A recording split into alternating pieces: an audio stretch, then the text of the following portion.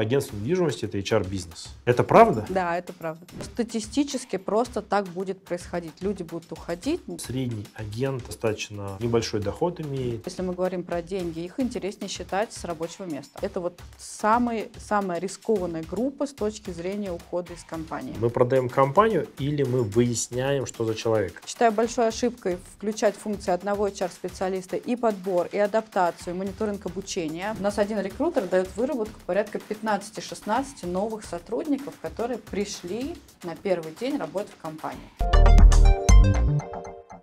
Елизавета, добрый день. А, мы с вами уже записали один материал, который касался образования команд, групп разного рода. А, и кому интересно, можете посмотреть. Все ссылки, как всегда, в описании. А сегодня у нас тоже, мне кажется, немаловажная тема для руководителей и для HR-щиков, да, если можно так сказать, э, для HR-специалистов, для директоров по персоналу, как угодно можно это называть, э, мы будем говорить о метриках при подборе, правильно? А, то есть, если перевести на язык, что называется, продажников, речь идет о некой воронке. Правильно? И Или про воронки, и про данные, которые в подборе возникают, кроме воронки, на которые следует обратить внимание, потому что много чего поменялось за последние пять лет. А, я хочу с вами вот в качестве разминки, как это введение, у меня прозрение год назад произошло. Я, хотя, наверное, для вас это очевидно, очевидно для многих руководителей, что агентство недвижимости – это HR-бизнес. Это правда? Да, это правда. И успешность именно бизнеса, не конкретно взятого человека, зависит от того, насколько а, хорошо мы нанимаем привлекаем, рекрутируем агентов, насколько хорошо мы их адаптируем, насколько хорошо мы их обучаем, и дальше, соответственно, ведем, как говорится, по жизни, ну и, грубо говоря, там, профессионально эксплуатируем. Отсылку еще раз сделаю к прошедшей недавно конференции, которая у нас тоже есть на канале, где э, руководитель, топ-руководитель сказал, что э, он видит текущее состояние рынка, кадрового рынка, если можно так сказать, агентов по недвижимости, ну, как очень нехорошие. В том смысле, что очень высокая текучка. Там даже звучали, по-моему, оценки 160% в год. Вот, что средний агент э, достаточно небольшой доход имеет. И все это как бы не есть хорошо. Э, как для отрасли, так и для конкретного бизнеса. Вот э, можем ли мы сказать о том, что ситуация должна как-то поменяться и как она должна поменяться? Или, в принципе, э, бизнес так устроен, это просто такая модель, и ничего другого здесь не нужно выдумывать и изобретать какой-то велосипед? А, давайте так. То, что сейчас происходит, это вводные. Все, это не хорошо, не плохо, это так. Ну, можно привести аналогию, например, с открытием пунктов выдачи Wildberries. Их почему так много? Потому что еще больше их людей пытались их открыть, и у кого-то не получилось, но кто-то в итоге остался. Но в самом начале и очень большое количество людей пытались заниматься этим бизнесом. Или, грубо говоря, торговля на маркетплейсах. Кто-то становится там успешным, но еще больше людей туда приходят и не становятся там успешными. Агентский бизнес, он такой, это правда HR-бизнес, труд, земля, капитал, у нас труд, у нас люди, и даже когда я приходила в недвижимость, мне мой руководитель сказал, что хорошая команда агентства по недвижимости – это команда, где руководитель может со своими людьми выйти в чистом поле, и то, как сильно они заработают и сколько пользы они принесут людям, будет зависеть от количества людей и от их профессионализма. То есть никакие, грубо говоря, если все прям так очистить, мы понимаем, что сначала у тебя есть люди и их квалификация, то есть количество и качество. Все. Хорошо, когда мы говорим о квалификации или, э, как сказать, профессионализм, а, о каких метриках мы говорим? Это, не знаю, условно, выработка на одного агента, это а, средний чек, это еще что-то. О, это, это моя любимая тема. А, ну, во-первых, это выработка на одного агента в сделках, но, опять же, смотря как мы считаем сделки. Ну, считаем ли мы альтернативу по числу объектов, или мы считаем, например, просто общее количество сделок, потому что понимаем, что в среднем там доля альтернатив, она такая. Наверное, только в сделках можно посчитать производительность труда, а уже дальше, если мы говорим про деньги, их интереснее считать с рабочего места, а, с, со стола, с компьютером.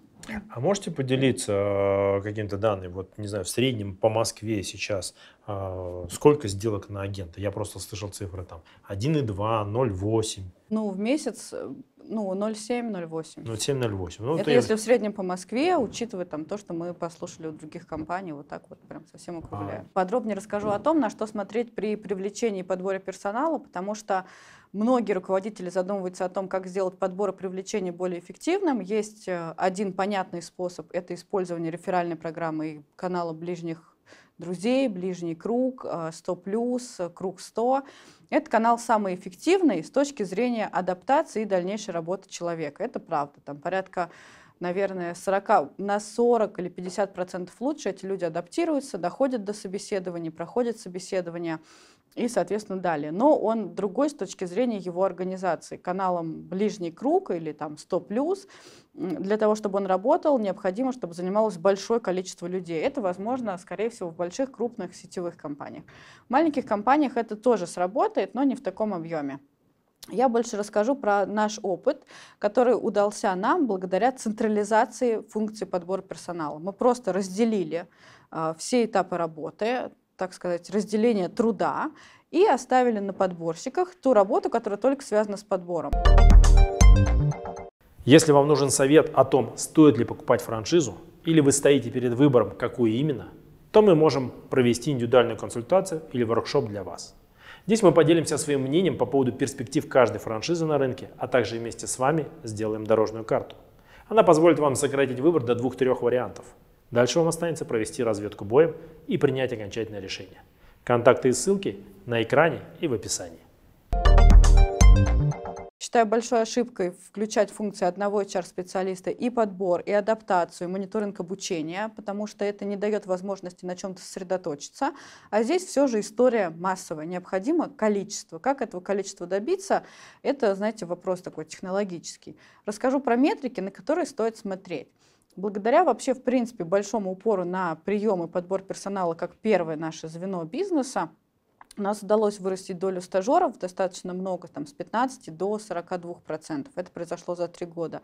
И мы понимаем, что и дальше эта доля стажеров должна сохраняться такой же, а, ну, порядка 40 процентов, может быть, до 60, чтобы у агентства как раз покрывалось все то, что уходит, все те люди, которые уходят. Можно я буду задать вопрос? Да. Доля стажеров имеется в виду в общем объеме коллектива? В общем объеме агентского состава, да. Вот так вот. Аж до 60%. Ну, в идеале до 60%. Мы просто поэкспериментировали на разных моделях. У нас сейчас порядка 40, 40, 43. Но уходят же не только по возрасту или потому, что уже там 20 лет ты в профессии, ты хочешь что-то поменять. Уходят еще и потому, что где-то появляются другие более интересные предложения, либо уходят в частный рынок. И этот риск, например, мы наблюдаем на агентах, у которых стаж работы от полутора до двух с половиной лет. Это вот самый, самая рискованная группа с точки зрения ухода из компании. А вы исследовали, почему?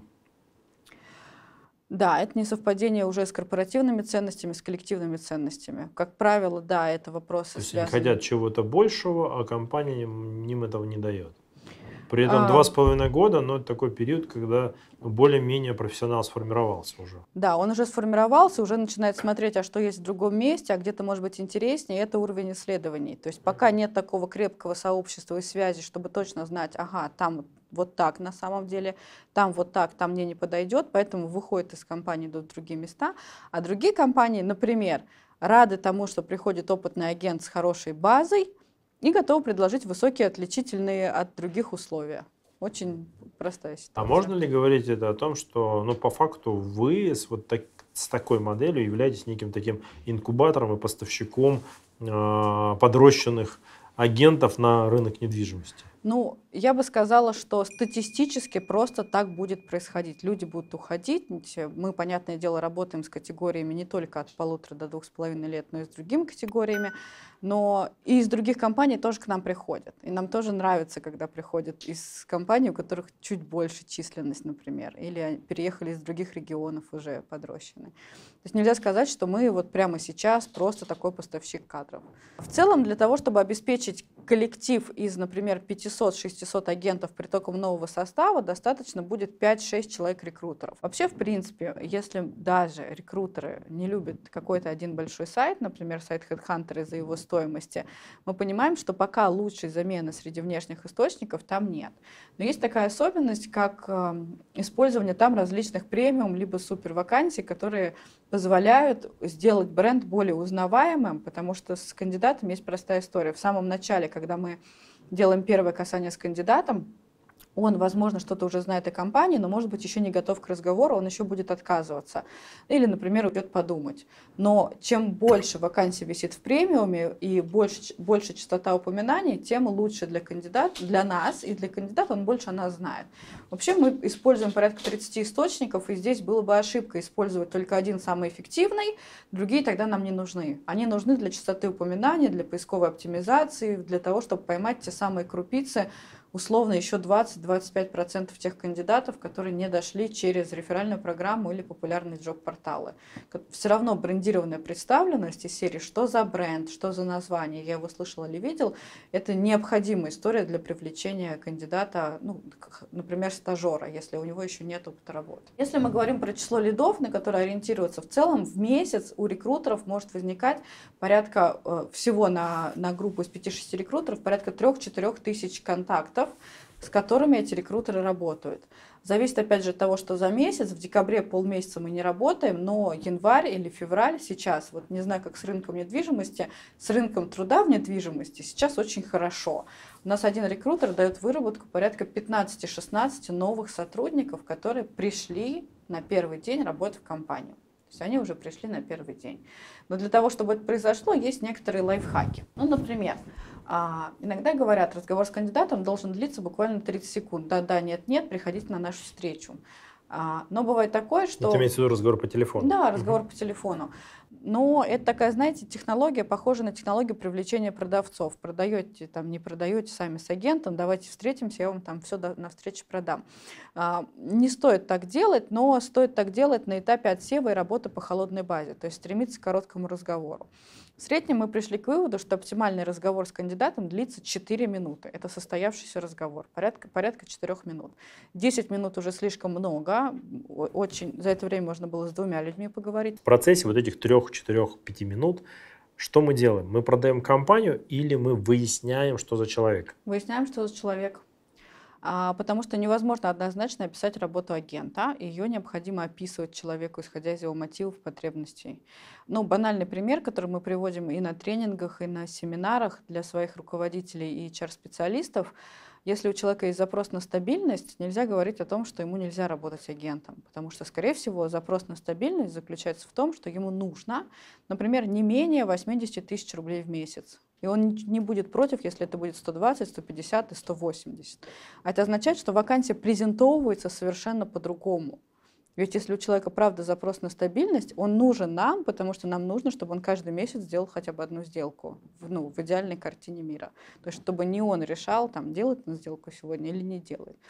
А, потребность может быть в коллективе, потребность может быть в хорошем руководителе. Часто у людей руководящего уровня такая история сквозит о том, что кто мной будет управлять, а что это за руководитель, он ли профессионал. Тогда и презентация вакансии будет через то, что человеку нужно. Обычное выявление потребностей и закрытие потребностей.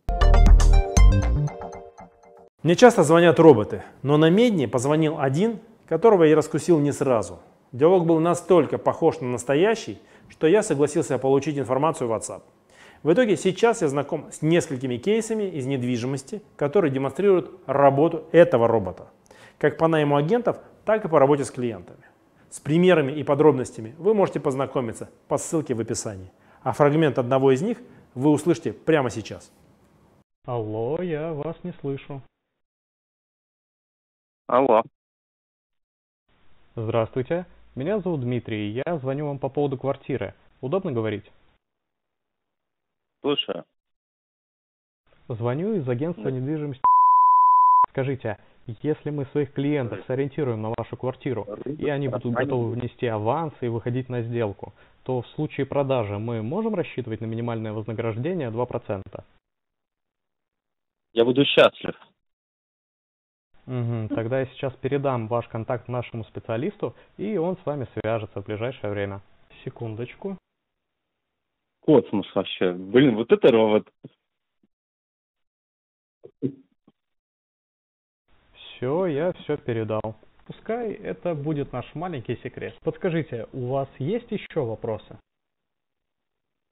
Куча. Понял, я перезвоню позже. До связи.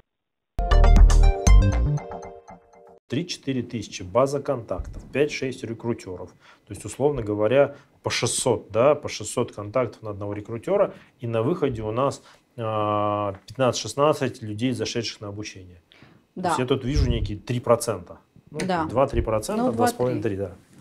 Окей. Раньше был 1%, мы понимали, 100 контактов, один вышедший, ну, это была такая вот суровая так правда, даже, да? да, 100 контактов, один вышедший. А сейчас уже чуть, чуть получше. А можно объяснить, за счет чего это произошло такое? А это догоняющее сообщение кандидатам, это общение с кандидатами в мессенджерах. Мы знаем, например, что 65% людей не отвечают на телефон сразу. И, в принципе, сейчас э, у людей стоят вот эти боты-помощники, плюс супертелефонные определители, поэтому если это разрешено кандидатам написать ему в мессенджер, мы еще и напишем в мессенджер, что это звонили мы а даже будем с некоторыми просто переписываться. Укрепляется это еще тем, что у рекрутеров оформлены в WhatsApp их страницы. Это WhatsApp бизнес с оформленной страничкой. Кто они, откуда они, все их ссылки на сайт, возможно, ссылки на ролики. Плюс мы просим рекрутеров ввести сторисы. Ну, туда ставятся такие картинки про нашу работу. Есть еще интересное время для звонков. Оно, кстати, не знаю, совпадает или нет со временем, э, которому звонят агенты продавцам. Мы поняли, что лучше всего отвечать на телефон, если звонить с 12 до 5. То есть утром люди не так сильно отвечают на телефон и вечером. То есть вот это ключевое время, ключевые 5 часов, которые просто процент ответов на где-то 20-25% выше. Что касается скорости, мы ставили себе такую хорошую гипотезу, хотели ее проверить, все, что связано со скоростью ответа, скоростью написания сообщения, скоростью принятия решения руководителем. И, например, а, однажды мы пришли к, к такому заключению, что после того, как уже руководитель провел собеседование с кандидатом, он не может отправиться думать по поводу этого кандидата. Он в момент собеседования принимает решение, подходит ему кандидат или не подходит.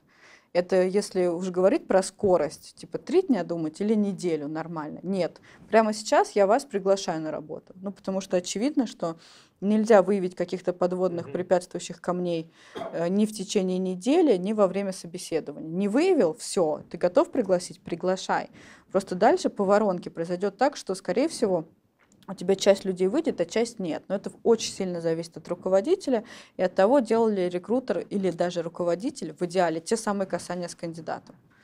Вот. А, и что касается скорости отработки откликов, если отрабатывать отклик и обращение сразу, то сразу мы имеем в виду там, буквально 5-7 минут после того, как отклик отправлен, то эффективность гораздо лучше. Доходимость на собеседование, например, она на 20% будет лучше.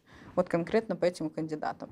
Если, не дай бог, отклик висит, например, сутки, но это считаем то, что отклика уже нет. Это просто, как сказать, скликнутый бюджет. Другая история, которая сильно влияет на подбор, это требования руководителя к агенту.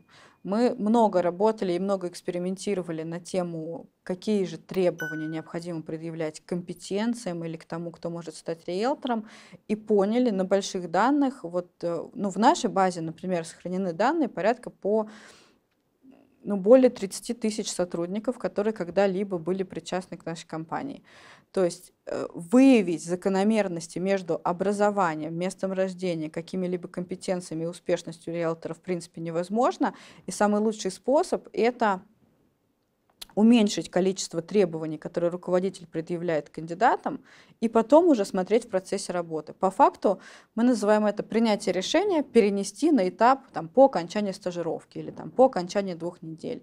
И называем еще это иногда определение годности стажера, годен он или не годен, там, две недели, три недели. Ключевая история в скорости — это то, как быстро произойдет встреча от момента первой переписки рекрутера с клиентом. Мы ставили показатели и поняли, что практически в них укладываемся, это менее 72 часов. От момента переписки первой переписки до, до встречи. До встречи. Ну, трое uh-huh. суток. В, в, идеале, в идеале двое суток, потому что на следующий день, как правило, что-то запланировано уже. Но если человек в стадии активного поиска работы, то через день он найдет это время обязательно. Там дальше, возможно, какие-то технические переносы. А, пробовали еще для руководителей применять такую штуку, как, например, делала компания Netflix. Если руководителя самое важное сейчас это люди в команде, это означает, что нет ничего важнее, чем собеседование, и в любой момент, что бы у тебя ни происходило, если у тебя сейчас происходит собеседование, к тебе пришел человек, ты прекращаешь все свои дела, идешь на собеседование. В целом 20, максимум 25 минут для собеседования достаточно. У нас нет задачи выявлять глубокие мотивы, надо понять сначала просто мотивы человека и потребности, и потом уже презентовать ему вакансию. Здесь нет задачи искать какие-то изъяны в биографии кандидата или проводить интервью по компетенциям. Компетенции ты все равно будешь развивать, потому что в агентстве все постоянно учатся, а если ты уж не уживаешься в команде на уровне soft skill ов, ну, там, в команде, в коллективе, или не умеешь выстраивать отношения, то ты просто сам долго не продержишься и решишь уйти. Что касается доходимости, она в плохие дни, плохие дни — это когда плохая погода на самом деле, и пятница. Но пятница на пятницу не приходится, а она достигает порядка 35%. В целом хорошая доходимость, как мы считаем, мы ее смогли достичь, это 50-60%. Опять же, за счет того, что у рекрутера всегда ведется контакт с кандидатом. А у нас были вы, маленькие, на маленьких выборках доходимость бывает до 100%, просто с переносом встречи. Ну что ж, спасибо большое за метрики. Если вам что-то а, вызвало какие-то вопросы, безусловно, задавайте их, комментируйте. Если у вас, особенно если вы в других регионах и подобные исследования делали, может быть, вам будет не жалко, приведите э, свои цифры. Э, ну, собственно говоря, если вы с чем-то не согласны, тоже можете написать свое мнение. Спасибо большое. Как всегда, говорю, берегите себя, своих близких, свой дом и свой бизнес, если он у вас есть. Пока, до встречи в Ютубе.